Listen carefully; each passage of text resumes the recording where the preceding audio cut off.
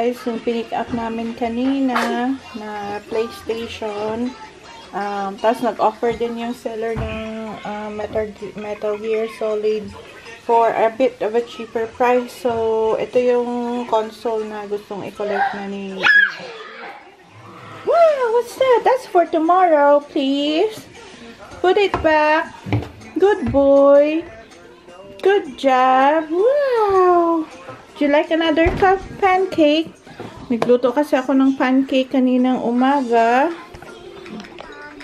Para makain-kain ni Faris. I was so glad na nagustuhan niya kahit papano. So, it's just really small pancakes. Here we go. Yummy. Oh, you managed to finish it. Oh, that's awesome. So, ayan lang. Plain pancake with a bit of sugar. One egg. Flour, baking powder, milk. Tapos nagdala lang ako ng honey in case na gusto gusto kumain. Sabi niya ice cream daw to ice cream. Icy. Good morning! Today is May 2, um, Sunday, and this is our last day here in Queenstown. Medyo na busy na last night.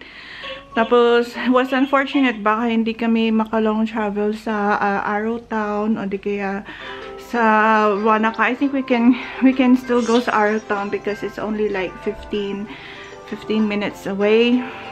So, hope si Francesca kasi sininat kagabi and then um ayun super duper tulo na yung yung sipon niya um I think siya na yung sunod na na magkakasakit talaga. So anyway kung sakaling hini she needed more rest tomorrow I think mag-absent na lang ako sa work.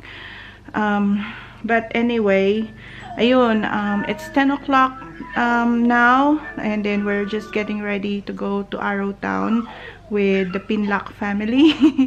And ayun naka-ready na si Faris. Faris will have his pancake and his strawberry milk on the way na lang for his breakfast. So, naka-breakfast naman ako dito sa facility. So, I'll show you our accommodation. So, ito, may double bed and my um, bulk bo, ano, bulk bed, bunk bed. Dinikit ko na lang talaga kasi iba talaga yung position namin in a way. And then, parang mabago na yung carpet nila. And then, it was really nice because the bathroom is renovated na. It's fully shower and everything. Yan. So, this is $109.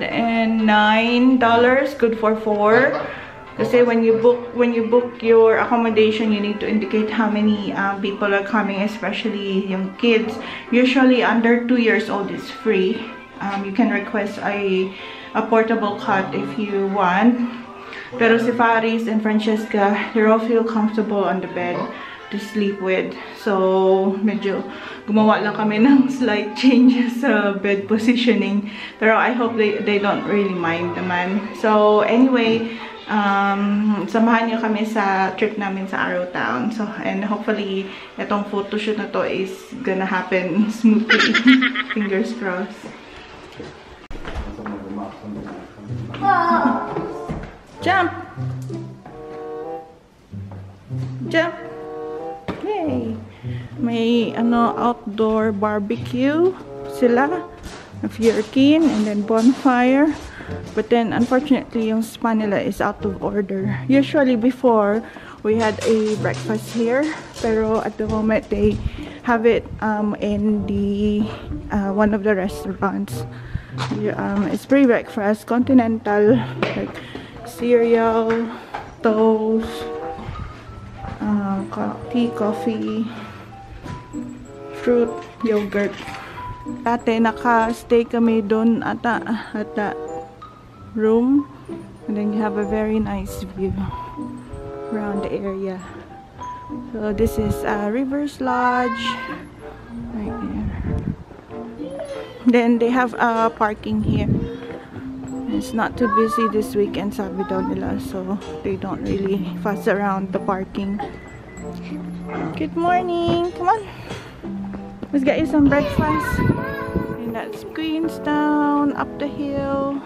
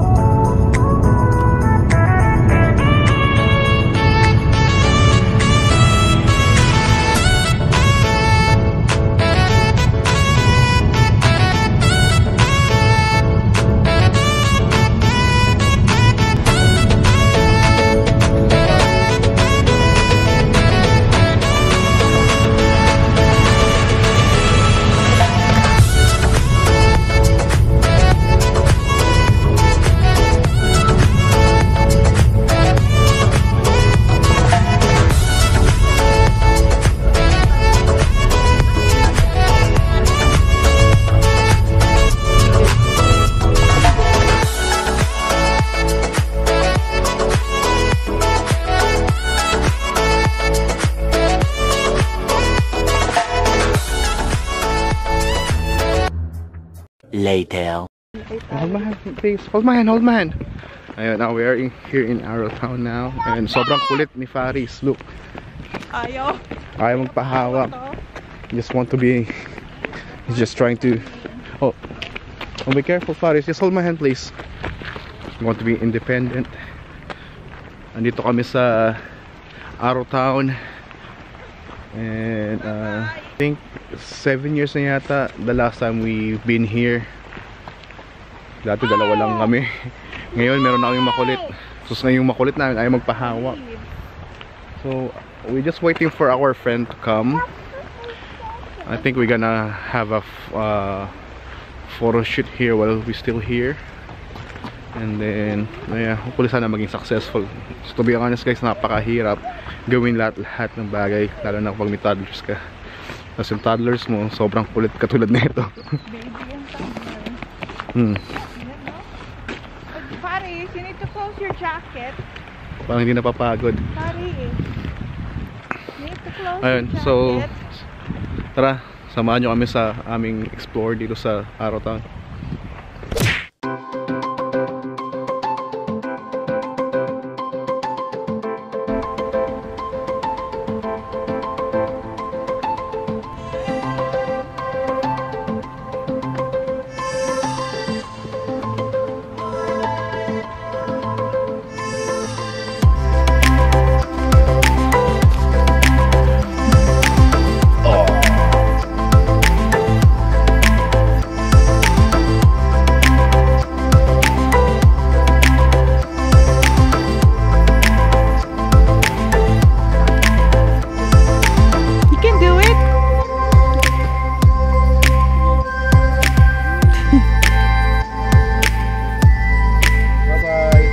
not gonna play with the water.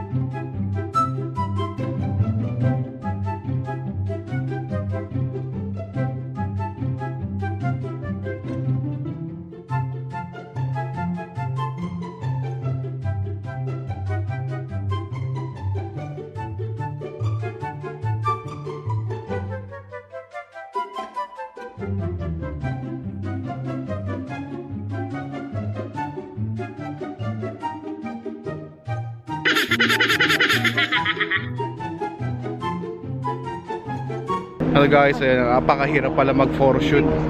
Puro sablay kasi eh, ang kulit ng mga bata. Ito nga pala yung fam ah, family friend namin dito sa Invercargo. Ah, so ano support ah, his with channel din. And ito nga pala ang- pero humingi na ako ng consent sa kanya kasi dito sa New Zealand bago ka mag-record record ng something you need to ask some consent kung papayag ka sila o hindi. Hindi naman copyright pero privacy Hindi nga, copyrights.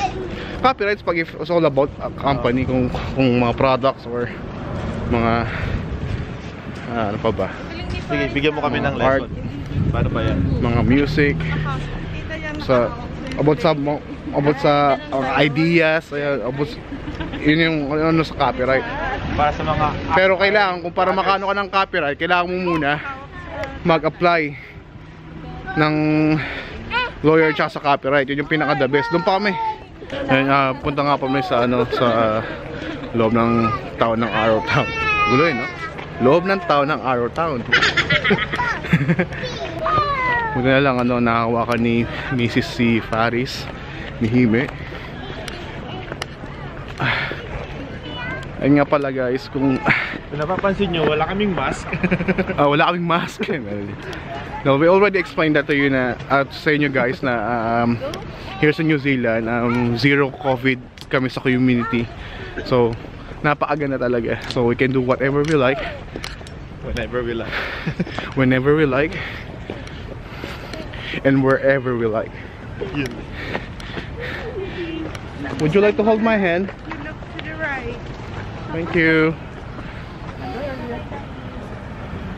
Okay, let's go.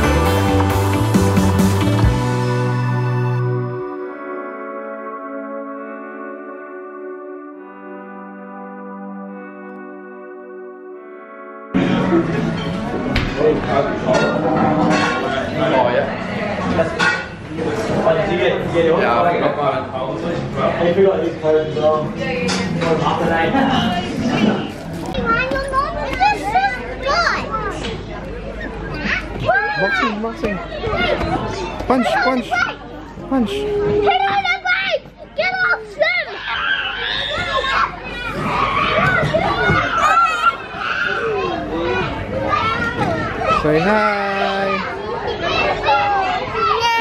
Yeah.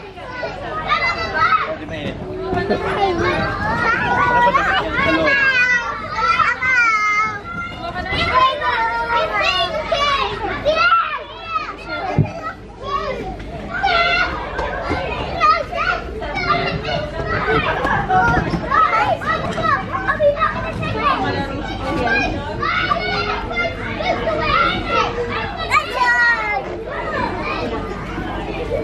Faris, let's calling you Faris. Yeah, come on, you should go.